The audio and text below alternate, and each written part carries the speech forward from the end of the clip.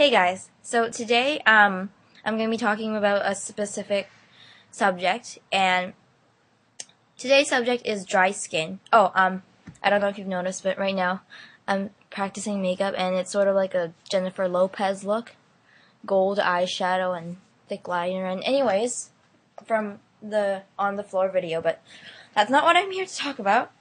Um, so I had a problem with dry skin this week, like a few days ago. I just woke up and um, I had these red blotches on my skin, on my face, like right there on the cheeks, and um, parts of my face were also dry.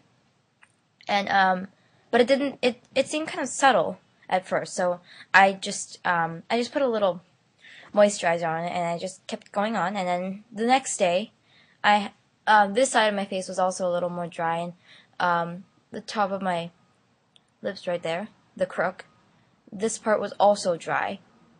And it really irritated me and and then so I thought it was pretty serious so I went to the pharmacy to get like a prescription or something. And they recommended this uh, this face cream um, to moisturize my face, one that was hypoallergenic for sensitive skin, and um, these pills because they thought it was an allergic reaction, but I I'm not sure what I'd be allergic to. But um, I tried both of them out, and the next day it just made my skin even worse. It just made the per- so at first it was just like these two red spots, but and it would just spread everywhere, and it was really bad. So I just stopped using those products. So and then um, and then I decided to go all natural because I think home remedies are the best. They are the best. Um, for me, home remedies just work the best because my face is very sensitive, and I just love all natural products. So I just look stuff up on the internet for dry skin, and the first so um now I'm just basically gonna tell you the steps that I use to get rid of dry skin.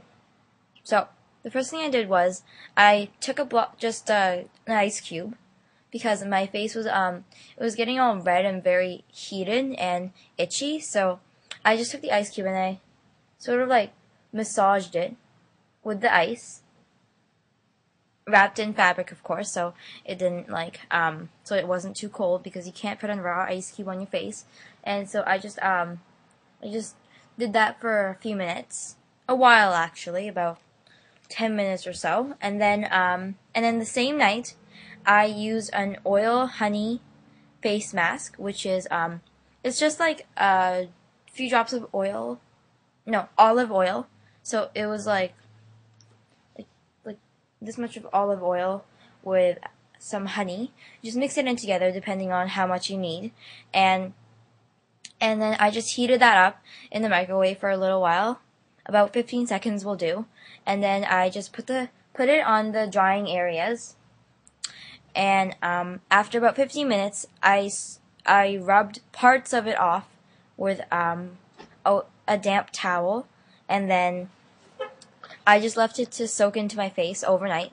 And then this morning, I woke up, and this side of my face was a lot better, but um, this side was still very flaky and dry, and so I just put on more Vaseline to keep it moisturized because you always have to keep your face moisturized even if you have oil, oil, oily skin, like um, when if you get dried skin, the best thing to do is to keep it moisturized always.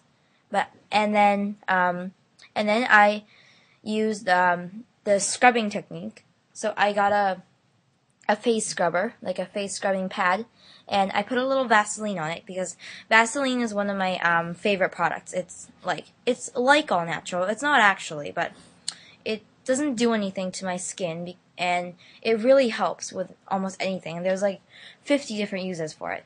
And so I just put a, a little thing of Vaseline, just a little drop on the face scrub, and then um, I just scrubbed my face with it, this side of the cheek and also um, in the crook and on this side of the cheek as well.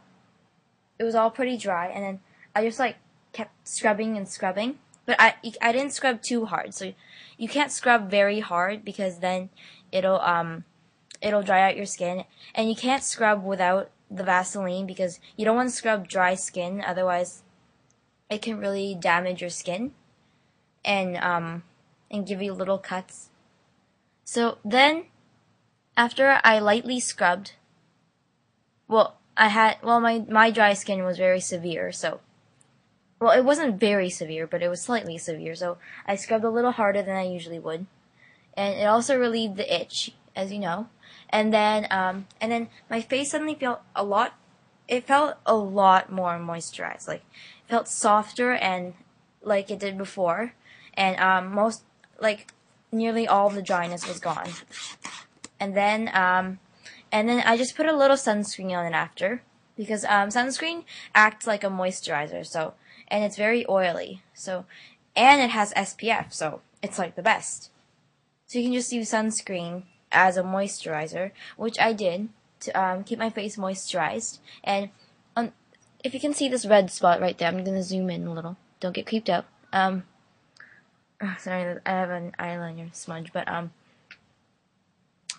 if you see that red spot, it's where it's where a lot of the dryness sort of started. So it's sort of damaged. It's like damaged red skin. So I put I just put a little um little cream on it, like um like any sort of regular creams for cuts and and scratches and stuff will do. Any sort of healing cream. I put a very um very soft one on. Just on that spot. But I didn't put it on everywhere because again it's a medicine, so and you should um you should use drugs and medicines carefully.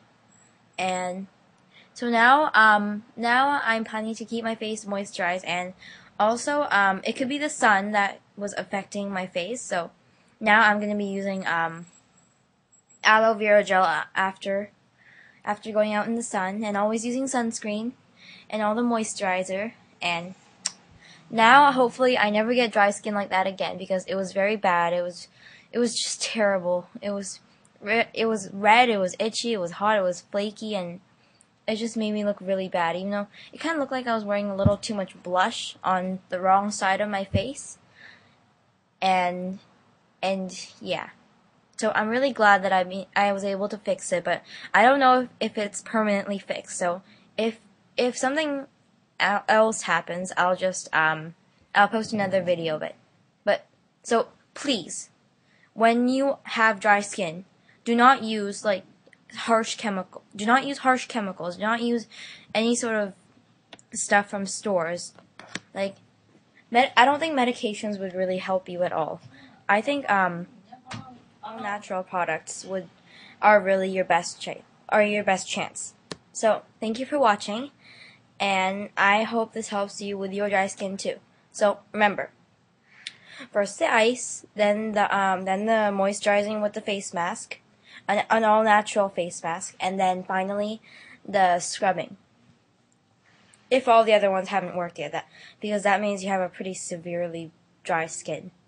So once again, thank you for watching. Um, please rate and subscribe.